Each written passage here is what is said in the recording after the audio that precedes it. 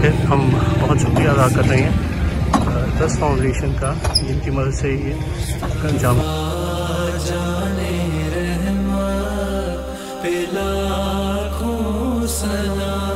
शमाए buzz में हिदायत